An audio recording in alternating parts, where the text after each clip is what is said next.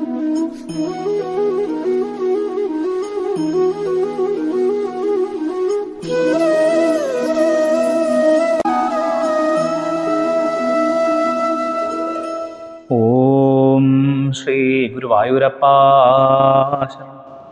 ഏവർക്കും വിനീതമായ നമസ്കാരം. നമുക്കിന്ന് എൺപത്തി ഒൻപതാം ദശകത്തിലെ മൂന്ന് നാല് ശ്ലോകങ്ങൾ അധ്യയനം ചെയ്യാം. മൂന്നാമത്തെ ശ്ലോകം നോക്കൂ. ശകുനിജ സ തു നാരദമേകദ ത്വരിതതോഷമപൃച്ഛദധീശ്വരം. സ ച ദിദേശ ഗിരീശമുപാസിതും നു ഭവന്തമബന്ധുമസാധുഷു. സന്ധിച്ചേരങ്ങളോട് പോവാം. ഒന്നാം പദത്തിൽ സതു വിസർഗം ലോപിച്ചതാണ് സഹാധികം തു. നാരദമേകത നാരദം അധികം ഏകത രണ്ടാം പദത്തിൽ ത്വരിതതോഷം ത്വരിതതോഷം അധികം അപൃച്ഛത് അധികം അധീശ്വരം. ശ്രദ്ധിക്കുക. ത്വരിതതോഷം അപൃച്ഛത് അധീശ്വരം. മൂന്നാം ഭാഗത്തിലേക്ക് വന്നാൽ സ ച അവിടെയും വിസർഗം ലോപിച്ചു. സഹ അധികം ച. ഗിരീശമുപാസിതും ഗിരീശം അധികം ഉപാസിതും. നാലാം ഭാഗത്തിലേക്ക് വന്നാൽ ഭവന്തം അബന്ധു അഥ അസാധുഷു. ഭവന്തം അധികം അബന്ധും അധികം അസാധുഷു. ഇത്രയുമാണ് സന്ധിച്ചോദ്യങ്ങൾ. നമുക്ക് അനുവേദത്തിലേക്ക് പ്രവേശിക്കാം. ശകുനിജഹ സഹാഹി ഏകദ നാരദം ത്വരിതദോഷം അധീശ്വരം അപൃച്ഛത്. സച ഗിരീശം ഉപാസിതും ദിദേശ. അസാധുഷു അബന്ധും ഭവന്തം നതു. ശകുനിജഹ ശകുനിയുടെ പുത്രൻ. പുത്രനായ സഹാഹി അവനാവട്ടെ എന്ന് പറഞ്ഞാൽ ആ വൃകാസുരനാകട്ടെ ഏകദ ഒരിക്കൽ നാരദം നാരദനോട് ബ്രഹ്മർഷിയായ നാരദനോട് ത്വരിതദോഷം എളുപ്പം സന്തോഷിക്കുന്ന ത്വരിതം എളുപ്പത്തിലാണ്. അധീശ്വരം അധീശ്വരനെക്കുറിച്ച് എന്ന് പറഞ്ഞാൽ ഇവിടെ ദേവനെക്കുറിച്ച് ദേവനെ ദേവനെക്കുറിച്ച് അപരിച്ഛത ചോദിച്ചു. സച സഹച ആ നാരദനും ഗിരീശം ഗിരീശനെ ഗിരിയുടെ ഈശനായ മഹാദേവനെ ഉപാസിതും ഭജിക്കാനായിട്ട് ദിദേശ നിർദ്ദേശിച്ചു. അസാധുഷു അസാധുക്കളിൽ ദുർജനങ്ങളിൽ അബന്ധും ബന്ധുവല്ലാത്ത ഭവന്തം അങ്ങേ നദു. നദു എന്ന് പറഞ്ഞാൽ ഇല്ല എന്ന് പറഞ്ഞാൽ ഇവിടെ ഭജിക്കാൻ പറഞ്ഞില്ല. സാരം എങ്ങനെയാണ്? ഒരിക്കൽ ശകുനിപുത്രനായ മൃഗാസുരൻ വഴിയിൽ കണ്ട നാരദമുനിയോട് ഏതൊരു ക്ഷിപ്രപ്രസാദിയായ ദേവനെയാണ് താൻ ഭജിക്കേണ്ടതെന്ന് ചോദിച്ചു. നാരദൻ ശിവനെ ഭജിക്കാൻ പറഞ്ഞു. ഭഗവാനെ ഭജിക്കാൻ പറഞ്ഞില്ല. അഭീഷ്ടം വിഷ്ണു നൽകുമെങ്കിലും ദുർജനങ്ങളുടെ ബന്ധുവല്ല വിഷ്ണു. അതുകൊണ്ടാണ് വിഷ്ണുവിനെ ഭജിക്കാൻ നാരദൻ ഉപദേശിക്കാഞ്ഞത്. നമുക്ക് വ്യാഖ്യാനത്തിലൂടെ കടക്കാം. നാരദൻ പ്രപഞ്ചചാരിയാണ്. അപ്പോൾ ആരെപ്പറ്റിയും ചോദിച്ചാൽ നാരദൻ അറിയാം. ദേവന്മാരിൽ ആരാണ് ക്ഷിപ്രപ്രസാദി എന്ന് വൃകാസുൻ ഒരിക്കൽ നാരദനോട് ചോദിച്ചു. അപ്പോൾ ശിവൻ എന്ന് പറഞ്ഞു. വിഷ്ണുവെന്ന് പറഞ്ഞില്ല. ശിവൻ പെട്ടെന്ന് സന്തോഷിക്കും. പെട്ടെന്ന് കോപിക്കുകയും ചെയ്യും. വിഷ്ണു നേരെ മറിച്ചാണ്. വിഷ്ണു വ്യഥാ വരം കൊടുക്കുകയില്ല. ഇതാണ് വിഷ്ണുവിന്റെ ഒരു പതിവ്. വെറുതെ കൊടുക്കില്ല. ഭജിക്കുന്നവന്റെ മനസ്സിലെ രാഗദ്വേഷാദികൾ മാറ്റിയതിനു ശേഷം ശമം നൽകിയതിനു ശേഷം മാത്രമേ അഭീഷ്ടം കൊടുക്കുകയുള്ളൂ എന്നാണ്. അത് കുറച്ചു കാലം എടുക്കും ശിവനാകട്ടെ പെട്ടെന്ന് തന്നെ അനുഗ്രഹിക്കും. മാത്രമല്ല ശിവൻ ദുർജനങ്ങളോട് കൂടുതൽ എളുപ്പം ഇണങ്ങുമെന്ന് തോന്നാകുകയുണ്ട് നമുക്കല്ലേ?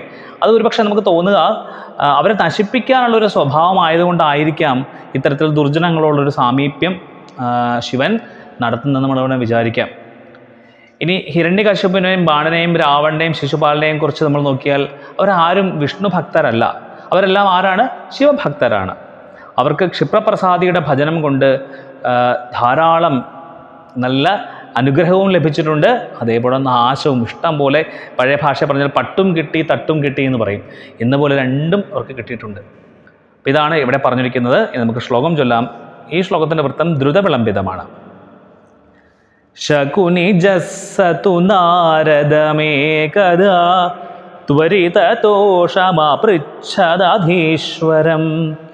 സ ച ദിദേശഗിരീശമുപാസിതും നതു ഭവന്തമബന്ധുമസാധുഷു. നന്നായി ശ്ലോകം വായിക്കുക ആശയം ഗ്രഹിക്കുക നമുക്ക് നാലാമത്തെ ശ്ലോകം അധ്യയനം ചെയ്യാം. തപസ്തപ്ത്വ ഘോരം സ ഖലു കുപിത സപ്തമദിനെ. ശിരശ്ചിത്വാ സദ്യ പുരഹരമുപസ്ഥാപ്യ പുരതഃ. അതിക്ഷുദ്രം രൗദ്രം ശിരസി കരദാനേന നിധനം. ജഗന്നാഥാദ്വൗരേ ഭവതി വിമുഖാനാം ക്വ ശുഭധീഹി. പശ്ചാത്തലോട്ട് പോയാൽ തപസ്തപ്ത്വ തപഹ അധികം തപ്ത്വ. സഖലു വിസർഗം അവിടെ ലോപിച്ചതാണ് സഹ അധികം ഖലു. രണ്ടാം ഭാഗത്തിലേക്ക് വന്നാൽ ശിരശ്ചിത്വ ശിരഹാധികം ചിത്വ. പുരഹരമുപസ്ഥാപ്യ പുരഹരം അധികം ഉപസ്ഥാപ്യ. ഇനി നാലാം പദത്തിലാണ് ജഗന്നാഥാത് വവ്രേ ജഗന്നാഥാത് അധികം വവ്രേ. ഇത്രയുമാണ് പദച്ഛേദങ്ങൾ നമുക്ക് അന്വയത്തിലേക്ക് പ്രവേശിക്കാം. സഹ ഖലു ഘോരം തപഹ തപ്ത്വ സപ്തമദിനെ കുപിത ശിരഃ ചിത്വ പുരഹരം സദ്യ പുരതഃ ഉപസ്ഥാപ്യ ജഗന്നാഥാത് ശിരസി കരദാനേന നിധനം അതിക്ഷുദ്രം രൗദ്രം വവ്രേ. ഭവതി വിമുഖാനാം ശുഭധീഹി ക്വാ. സഹാ ഖലു. അവനാവട്ടെ ആ വൃകാസുരനാവട്ടെ ശകുന്യപുത്രനായ വൃകാസുരനാവട്ടെ ഘോരം തപഹ ഘോരമായ ഭയങ്കരമായ തപസ് തപ്വ ചെയ്തിട്ട് തപിച്ചിട്ട് സപ്തമദിനെ ഏഴാം ദിനത്തിൽ കുപിത കോപിച്ചവനായിട്ട് ശിരഹാചിത്വ ശിരസ് മുറിച്ചിട്ട് പുരഹരൻ പുരഹരനായ ശിവനെ സദ്യ വേഗം പുരതഹ മുമ്പിൽ ഉപസ്ഥാപ്യ ഉപസ്ഥാപനം ചെയ്തിട്ട് അഥവാ മുമ്പിൽ പ്രത്യക്ഷ പ്ര- പ്രത്യക്ഷപ്പെടുത്തിയിട്ട് ജഗന്നാഥാത് ലോകനാഥനായ ശിവനിൽ നിന്ന് ശിരസി തലയിൽ കരദാനേന നിധനം. കരം വച്ചാൽ മാത്രമേ നിധനം മരണമുണ്ടാകണമെന്ന അതിക്ഷുദ്രം അത്യന്തം നിസാരവും രൗദ്രം പൗരെ ഭയങ്കരവുമായ ഒരു വരത്തെ വരിച്ചു സ്വീകരിച്ചു. ഭവതി അങ്ങയിൽ വിമുഖാനാം ഭക്തിയില്ലാത്തവർക്ക് ശുഭധീഹി മംഗളബുദ്ധി അതാണ് പ്രധാനപ്പെട്ട വാക്കാണ് ശുഭധീഹി മംഗളബുദ്ധി ക്വ എങ്ങനെയാണ് ഉണ്ടാവുക സാരം ഇപ്രകാരമാണ് മൃഗാസുരൻ ഭയങ്കരമായ ഒരു തപസ് ചെയ്തു ഒരു വലിയ ഘോരമായ തപസ് ചെയ്തു. എന്നിട്ട് നീചവും നിസ്സാരവുമായ വരം അവൻ ശിവന്റെ കയ്യിൽ നിന്ന് വാങ്ങി. സ്വന്തം തലയറുത്ത് ഹോമിക്കുവാൻ തുടങ്ങിയപ്പോൾ മാത്രമാണ് ഭഗവാൻ ശിവൻ പ്രത്യക്ഷനായത് മൃഗാസുരന് മുമ്പിൽ വാങ്ങിയ വരമോ? അവൻ ആരുടെ തലയിൽ തൊടുന്നുവോ? അവൻ മരിക്കണമെന്നുള്ളതും കഷ്ടം. ലോകേശ്വരനായ ശിവനോട് അവൻ വാങ്ങിയ വരം എത്രയോ നികൃഷ്ടമാണ്. ഭഗവാൻ വിഷ്ണുവിനെ ഭജിക്കാത്തവർക്ക് നല്ല വരം വാങ്ങാൻ ഹൃദയശുദ്ധി ഉണ്ടാകുകയില്ല. നമുക്കിനി വ്യാഖ്യാനത്തിലോട്ട് കിടക്കാം. മൃഗാസുരൻ ആരാണ്? ശകുനിയുടെ പുത്രനല്ലേ?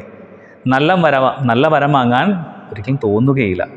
അവൻ എന്താ വാങ്ങിയത്? നീചവും നിസ്സാരവുമായ വരമേ അവനിക്ക് അവന് ഭഗവാന് മുമ്പിൽ ചോദിക്കാൻ സാധിച്ചുള്ളൂ. എളുപ്പം വരം കൊണ്ട് തന്നെ വരം കൊണ്ട് തന്നെ സ്വന്തം നാശം കൊയ്തെടുക്കാൻ പ്രാപ്തമായ വരമാണ് ഈ വൃകാസുരൻ നേടിയെടുത്തത്. എന്താണ്? ആരുടെ തലയിൽ അവൻ തൊടുന്നുവോ അവൻ മരിക്കണം. ഇതുകൊണ്ട് എന്ത് പ്രയോജനമാണ് കിട്ടുക അല്ലെ? ഇത്രയും ഘോരമായി ഇത്രയും കഷ്ടപ്പെട്ട് ചെയ്ത് നേടിയെടുത്ത ഒരു വരമാണ്. ആർക്കും ഒന്നും നേടാൻ ഒക്കുകയില്ല എന്നുള്ളത് തീർച്ചയല്ലേ ഈ വരം കൊണ്ട്? സംഹാരമൂർത്തിയായ ശിവനിൽ നിന്ന് അതാണ് അവൻ എളുപ്പം വാങ്ങിയത്. എളുപ്പം ഭഗവാന്റെ കോപത്തിനിടയായി സംഹാരകൃത്യത്തിന് എളുപ്പം ഉണ്ടാക്കാനേ കഴിയൂ. കാരണം സംഹാരമൂർത്തിയാണ് പരമശിവൻ. ഈ ശിവനിൽ നിന്ന് എളുപ്പം വരം കിട്ടും. അതോടൊപ്പം തന്നെ എന്ത് സംഭവിക്കാം? അതേപോലെ തന്നെ ക്ഷിപ്രകോപി ആയതുകൊണ്ട് തനിക്ക് തന്നെ ഇത് തിരിച്ച് വലിയ ആപത്തുണ്ടാകുമെന്ന ചിന്ത ആർക്കുണ്ടായില്ല? ഉണ്ടായില്ല ഭഗവാൻ ശിവന് സാത്വികവും മംഗളകരവുമായ ഭാവരൂപങ്ങളുണ്ട് എന്നാണ്. ശിവഭക്തന്മാരൊക്കെ ഒരുതരം ആസുര ആസുരിക ആസുരവൃത്തികളോ അസുരന്മാരോ ആയിട്ടാണ് പുരാണങ്ങൾ കാണപ്പെടുന്നത്. രാവണനെ നോക്കൂ. രാവണൻ ആരാണ്? വിഷ്ണുവിന്റെ ശത്രുവാണ്. പക്ഷേ ശിവഭക്തനാണ്. ബ്രഹ്മാവിൽ നിന്ന് വരം വാങ്ങിയ ആളാണ് അയാൾ. കുംഭകർണനും അങ്ങനെ തന്നെയല്ലേ? ശിശുപാലനും ദന്തഭക്തനും ഒക്കെ അത്തരത്തിലുള്ളവരായിരുന്നല്ലോ.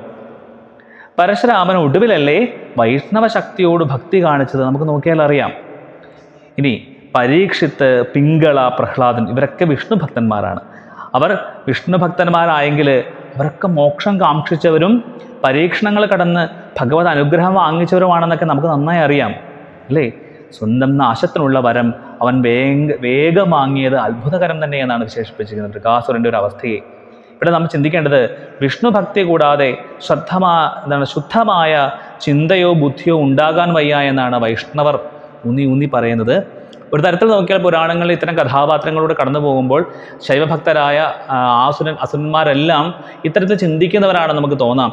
എന്നിരുന്നാൽ എന്ത് ഇരുന്നാൽ തന്നെയും വിഷ്ണുവിനോടുള്ള പ്രാർത്ഥന കൂടെയുള്ള ഉണ്ടാകുമ്പോൾ അല്ലെങ്കിൽ ഭക്തി കൂടെ ഉണ്ടാകുമ്പോൾ ഉറപ്പായും ശമം ശീലിപ്പിക്കും എന്നത് പ്രധാനപ്പെട്ട കാര്യമാണ്. നമുക്ക് ഏത് തരത്തിലുള്ള ഭക്തിയും നമുക്ക് ഏത് തരത്തിലുള്ള ഈശ്വരനെ പ്രസാദിപ്പിക്കുവാനോ ഈശ്വരനെ ഭജിക്കുവാനോ ഉള്ള അവകാശം നമുക്കുണ്ട്. അതൊക്കെ നമ്മുടെ സ്വാതന്ത്ര്യമാണ്. പക്ഷെ ചിന്തിക്കേണ്ടത് എന്താണ്? നാം ഒരിക്കലും ആർക്കും പ്രയോജനമില്ലാത്ത നിഷ്പ്രയോജനങ്ങളായ മാത്രവുമല്ല മറ്റുള്ളവർക്ക് ഉപദ്രവകരമായ ഒരു കാര്യവും ആഗ്രഹിക്കാൻ പാടില്ല എന്നുള്ളതാണ്. എപ്പോഴും സന്മാർഗത്തിലൂടെ അഥവാ മറ്റുള്ളവർക്ക് നന്മ ചെയ്യുന്ന തരത്തിലുള്ള കാര്യങ്ങൾ ആഗ്രഹിക്കുന്നതാണ് എപ്പോഴും നല്ലത്. അതിന് വിഷ്ണു ഒരു കാരണമായി തീരുന്നു എന്ന് ഇവിടെ ഉറപ്പിച്ചു പറയുന്നു. ഇനി നമുക്ക് ശ്ലോകം ചൊല്ലാം. ശിഖരണിയാണ് വൃത്തം. തപസ്തപ്വാഘോരം സഖലു കുപിത സപ്തമദിനേ ശിരശ്ചിത്വാ സദ്യ പുരഹരമുപസ്ഥാപ്യ പുരതഃ അതിക്ഷുദ്രം രൗദ്രം ശിരസി കരദാനേന നിധനം ജഗന്നാഥാദ്വ്രേ ഭവതി വിമുഖാനാം ക്വ ശുഭധീ അപ്പോൾ ഈ ശ്ലോകത്തിൽ പറഞ്ഞിരിക്കുന്ന പോലെ നമുക്കെല്ലാം മംഗളബുദ്ധി ഉണ്ടാകണം എന്നതായിരിക്കണം നമ്മുടെയൊക്കെ പ്രാർത്ഥന. കാരണം ശുഭമായ ഒരു ബുദ്ധി ഒരു ധീ നമുക്കുണ്ടാവണം. ഭക്തി ഉണ്ടെങ്കിൽ മാത്രമേ അത് നേടാൻ സാധിക്കൂ എന്നാണ് ഈ ശ്ലോകവും ഭാഗവതവും എല്ലാം ഊന്നി ഊന്നി പറയുന്നത്. അതുകൊണ്ട് നമുക്ക് ഏവർക്കും സദ്ബുദ്ധി ഉണ്ടായി സത്കാര്യങ്ങൾ ചെയ്യുവാനുള്ള ഒരു ദിനങ്ങളായി മാറട്ടെ എന്ന് ആശംസിക്കുന്നു പ്രാർത്ഥിക്കുന്നു. ശുഭദിനം. നമസ്തേ.